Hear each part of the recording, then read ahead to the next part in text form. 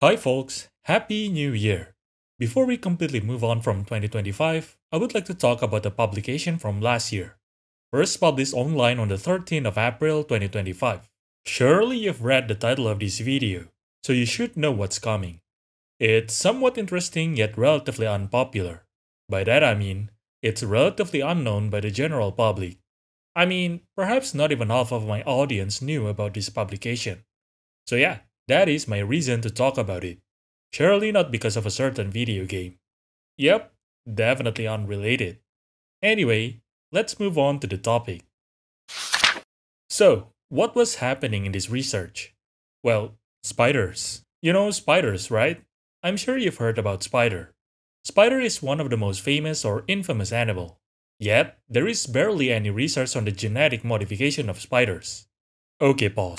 At this point, some of you might go, Ugh, why would you even want to do some genetic modifications of spiders anyway? What, are you gonna make an even creepier abomination?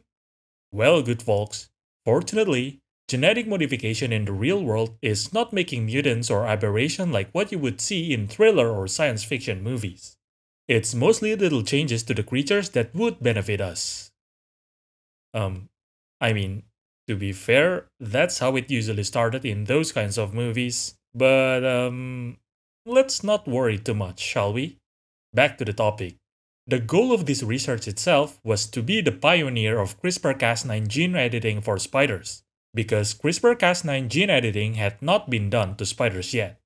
Oh, in case you didn't know anything about CRISPR-Cas9, I'm gonna explain it as simple as I can for this video.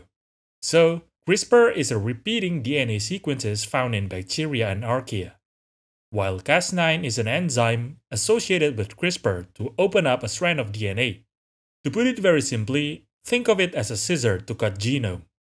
There are basically two types of CRISPR-Cas9 gene editing, knockout or KO and knock-in or KI.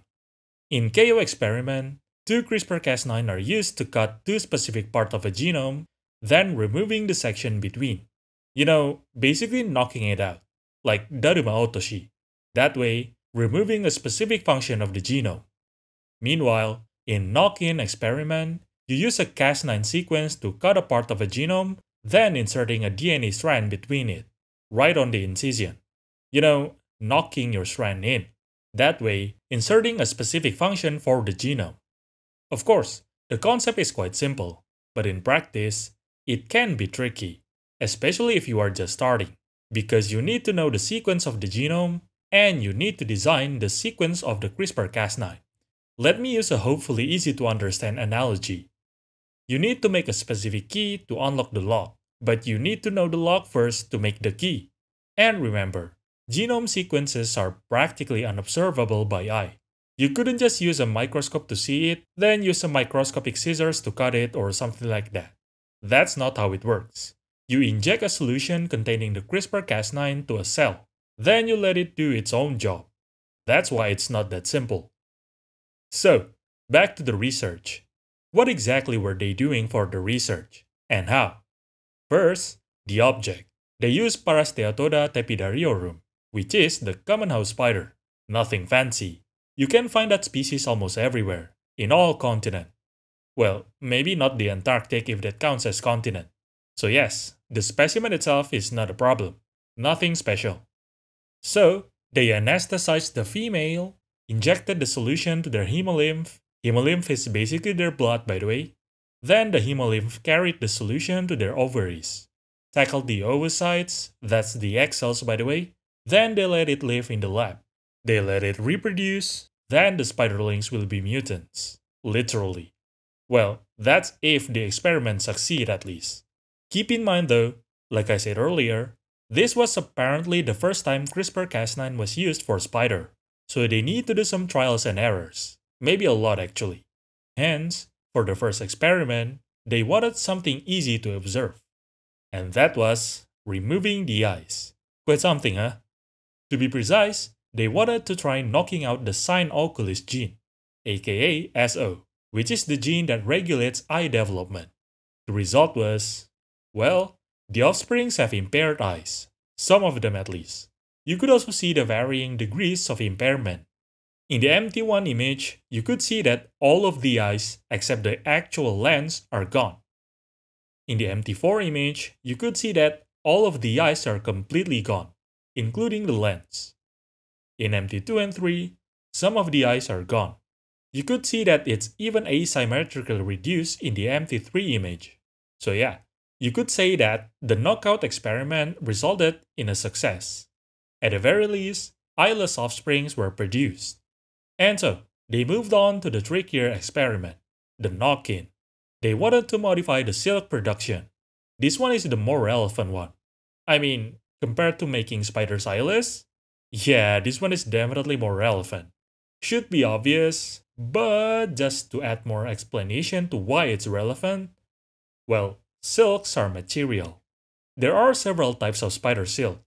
The major ampullate, the one used as frame for their webs, actually have higher toughness and extensibility than Kevlar and carbon fibers. So would be nice if we could use it in even more stuffs. At the very least, by messing around, we might discover something neat and useful. I know that might sound unconvincing, but honestly, that's how we discover a lot of stuffs, by messing around. Kinda. Anyway, to put it very simply, they knocked in monomeric red fluorescent protein, aka MRFP, into the major ampullate spidroin 2 gene. The result? Well, it should be obvious if you have read the title of this video, but yes, some of the offsprings produce red fluorescent silk. We could even observe it while it's still inside the gland, at least for the offsprings because their exoskeleton is still unpigmented. Oh, by the way, when the mutant spiders reproduce, the offsprings of those mutants are also mutants. Well, again, some of them at least. So yes, you could say they technically produce a lineage of red thread producing spiders. The red fluorescent itself is not exactly important for the research. It was just used so they could easily observe the change. But now, the question is, what's next for them? What are they doing now that they successfully created these mutants? Well, yeah, about that.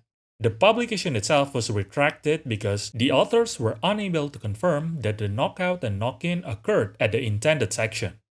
Remember, the goal was to establish a protocol for CRISPR-Cas9 gene editing in spiders. Unless it is consistently reproducible, it couldn't exactly be a protocol, isn't it? So who knows what will happen in the future? Maybe we'll get an update, maybe a more refined methodology, or something completely different and groundbreaking. Oh, and maybe some of you are asking, what happened to the mutant spiders? Well, honestly, I don't really know.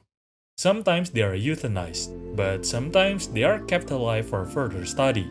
I couldn't find an answer to this question, so who knows. For now, let's just learn what is known. And that's all for now. Oh, by the way, I miss my old outro so much, man. I'm just gonna use this song again from now on. Hope nothing bad will happen. Anyway, enjoy your day.